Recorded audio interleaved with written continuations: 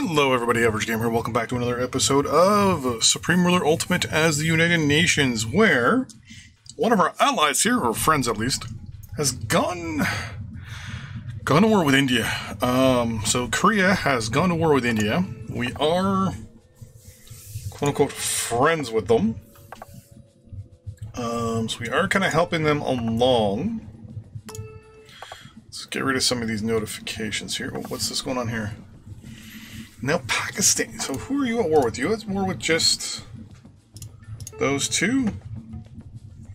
Okay, so you're at war with India and Pakistan. Okay. So I'm hoping, fingers crossed, that the game is going to be a little bit uh, better here.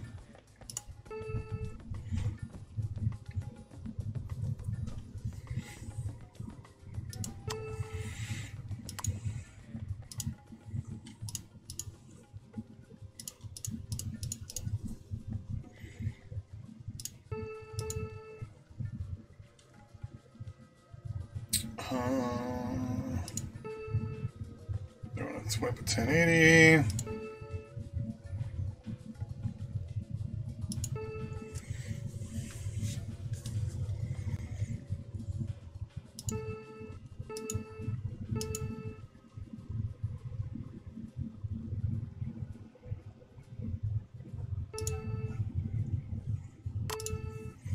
We're going to save this real quick.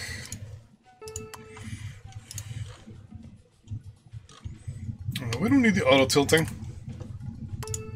We're gonna quit out oh, and then we're gonna reload here. Hoping that that gets the performance a lot better.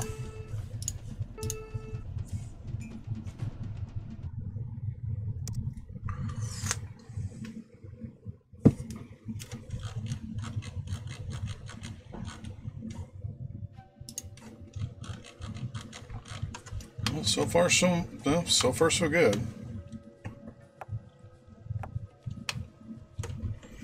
For some reason, that looks a little blurry. But we're gonna have to see. Let's see, fastest.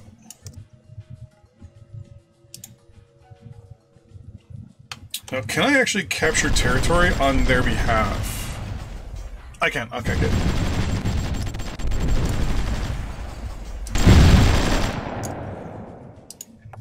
One too sure if I could.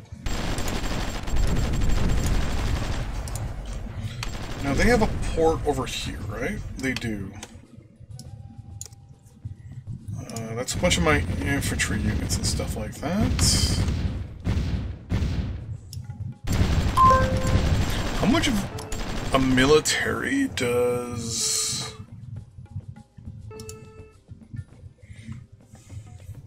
So India has a military of one point, uh, just over a million. Korea's got five million. Korea has the largest. Okay. Wow, then there's a steep drop off. I don't think Korea needs my help all that much.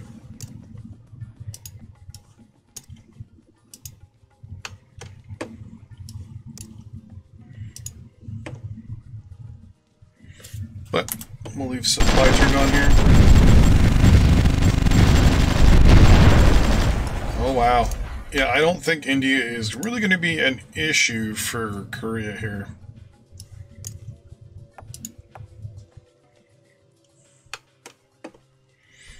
It's going to move up and... Do I have any amphibious units mixed in here? So I wouldn't mind taking that stuff up there right away. And I do not. I only have a small, small force. There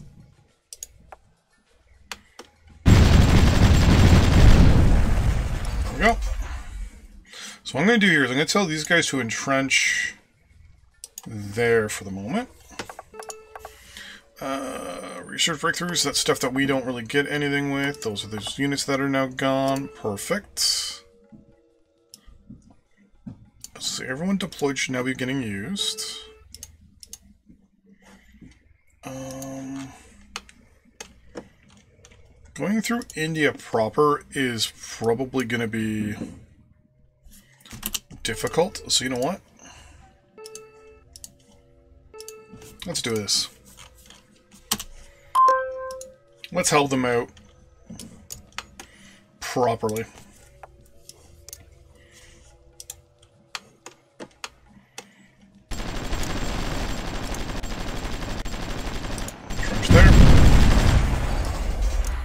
Perfect. Uh, in, uh, there for me. Uh, you three go there. Yeah, I don't see this being actually much of a problem for us. Like, this isn't even a major force that we have here, and they're just chewing up these troops.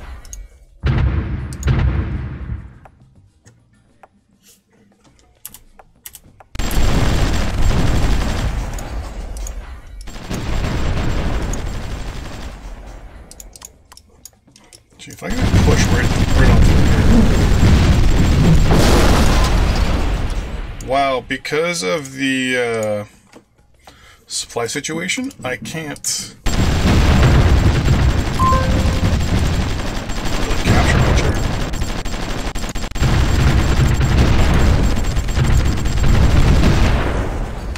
there we go. So we got the, uh, I can't remember the name of this area, but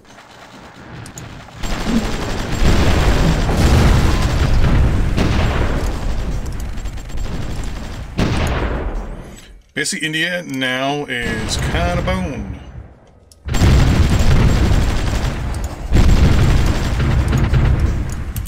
So what I'm going to do is I'm actually going to order everyone to entrench right there. Then I'm going to split. One, two, three, four.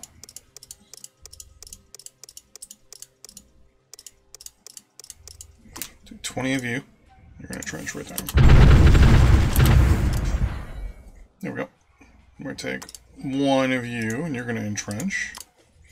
We take one, two, three, four. Entrench there.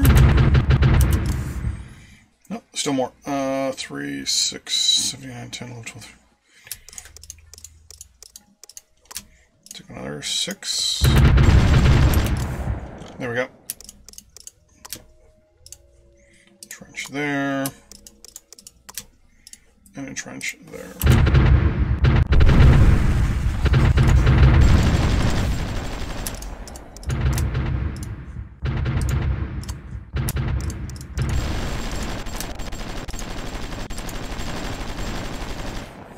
And there we go. So now, theoretically, it's almost impossible, I say almost impossible, for Korea to lose this war. Yeah, there's a 100% chance that, you know, India does like a naval invasion and like pushes up through this way. Or something like that happens, but I am not. Wait, did some units. Oh, I hit the wrong button.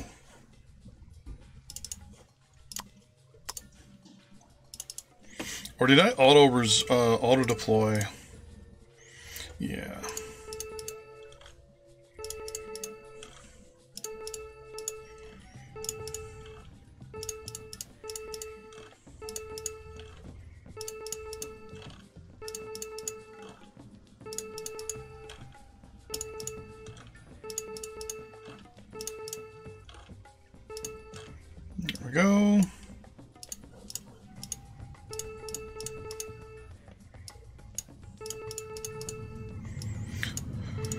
Very soon we'll have our fleet set up and we'll be pretty far advanced and, or ahead of everybody else, so that's not a problem.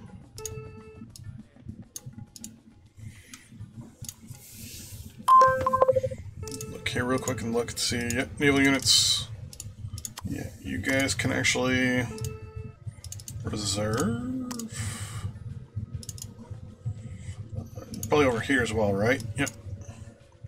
Uh, actually, all of you guys, even the F4F Wildcats can reserve. Because the aircraft, yeah, the aircraft should all be deployed now.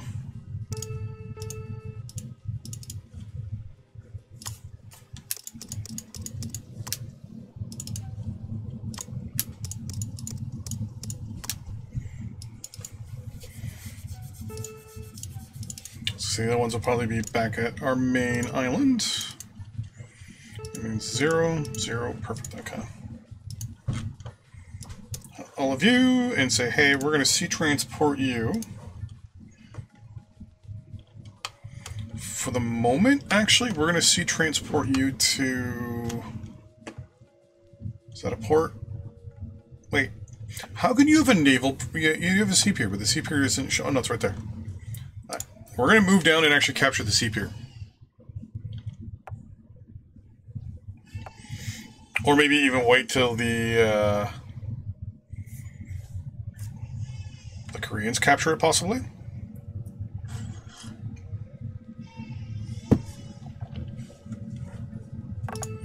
More research done. We have the carriage transport, a few other things. Nothing too crazy. Unemployment's still 2.7. How's our power situation? Okay, still really, really good. We're exporting quite a bit of it. Right now we're exporting 100% of our surplus, which is good. Only problem is that we're losing money on our trades here.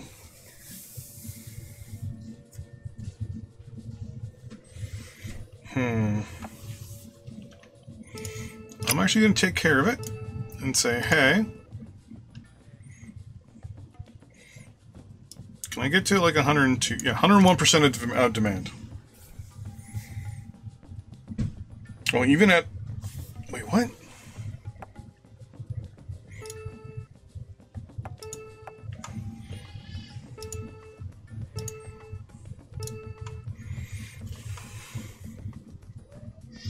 What if I go down to 9% of, uh, wow, even 9% of domestic power production? 8%? There's the estimated amount, it's 455. That's still, no, 8% of overall capacity. There's a lot of hydro that's just not doing much, but the plan is to hype up in, in uh, you know, construction and things like that, so that's one of the main reasons why we did a lot of the, that building. The Koreans are just pushing in. Uh, yeah, I don't think they need our help.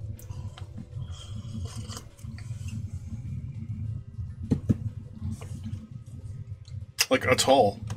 I mean, they are going to be one of the countries I have to go after later on.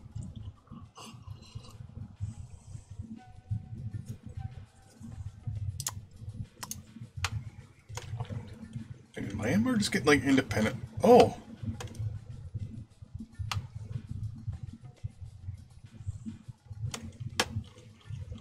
Those are my engineers. Speaking of things, how can I do my yeah my engine my research is still pretty meh. We're gonna pause here real quick. Uh, what do we get? We get the Queen Bee fighter jet, nice, but it cannot go on aircraft carriers, correct? Yeah, so it's still kind of meh to us naval nuclear reactors, we get the SSN-8 Walrus, theoretically, once we do the uh, air-independent and naval nuclear reactors, both of them. So we have to get both of those done. But we can get that very soon. Steam catapults. Any better guns? No. Military vessels. Yeah, there we go with the, uh, the elephant. modern sub prototypes. We don't get anything with that. Nothing there. Super carriers, we don't get anything. A lot of stuff we're going to sell to our friends, though. Waste management, nothing, but we get all this stuff here. Um, and I don't think we can actually build anything just yet. Oh, no, we can build a Queen Bee already. Nice. Now, once we get a carrier-based fighter, that will be interesting, because we can throw them theoretically on... Is it the Kitty Hawks that we have right now? The Yorktowns. Theoretically, I believe.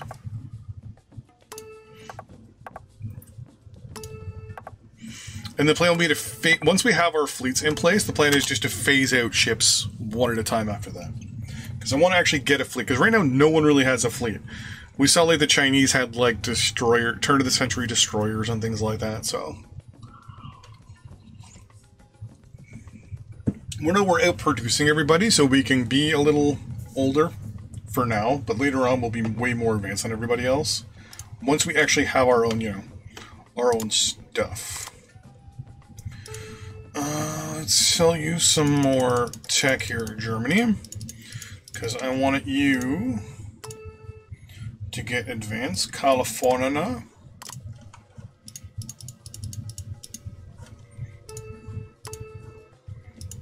Uruguay.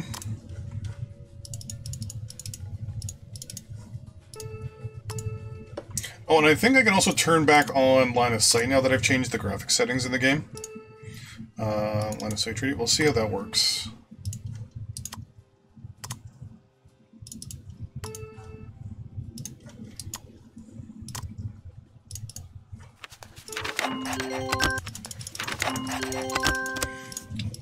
Pause that for a split second. Um,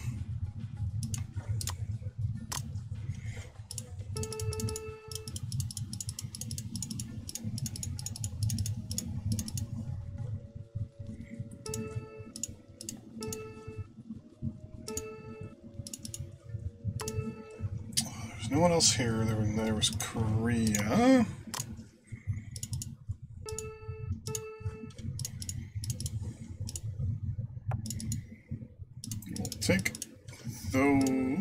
I'll give you 8 billion. Why not? And then Japan.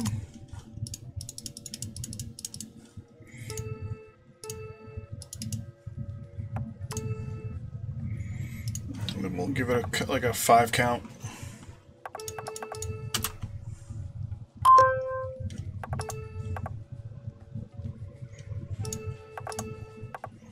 Oh.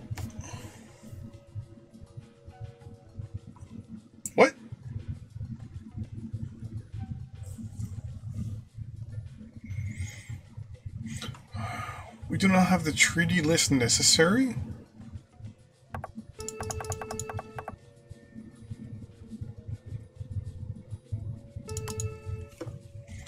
Okay, that's kind of weird.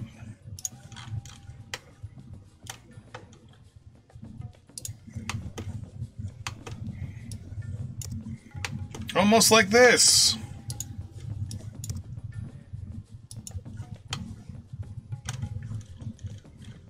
Then they have the naval port.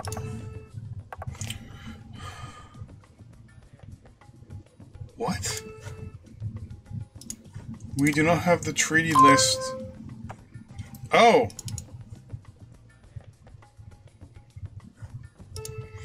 I probably have to give you money for it.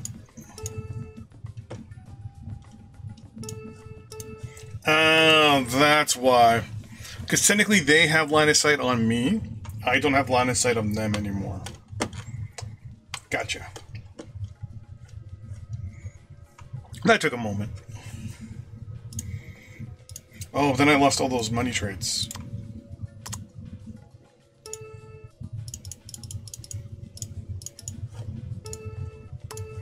Money trades. Theoretically, I could break off all relations with them and do it all over again, but...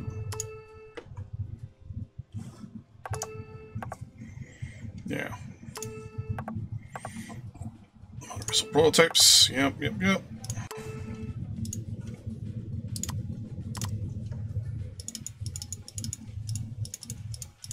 So instead of just lowering my graphic settings, I made this a little bit more difficult on myself.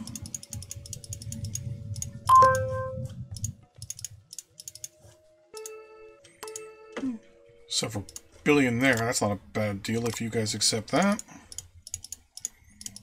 Nine times out of ten, looks like they're just accepting no matter what.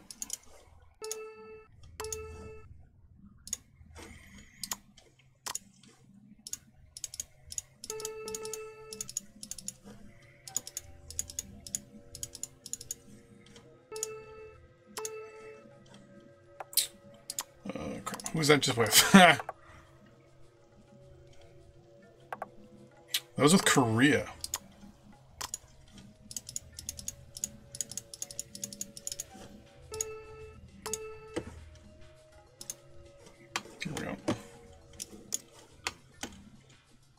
If I change your direction, will you be yeah, pathing a little bit better there. Okay, perfect.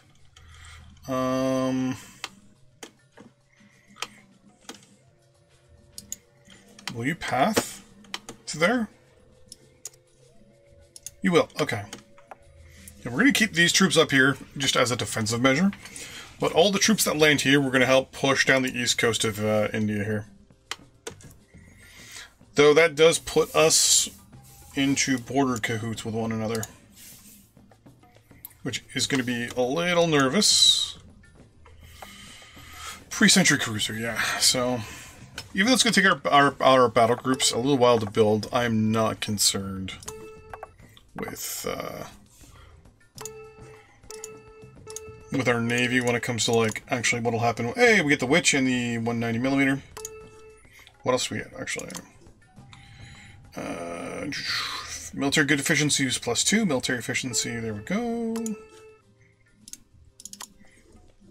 Uh, research efficiency. Kaboom.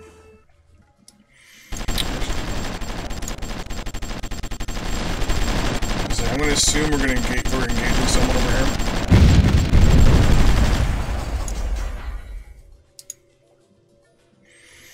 So we're going to go down the east coast with these units. I remember playing as China and I uh, went after India and it was such a long, like, just quite the, quite the fight. Well, what we're to do is put a cut here and I'll see you guys in the next episode. Bye-bye.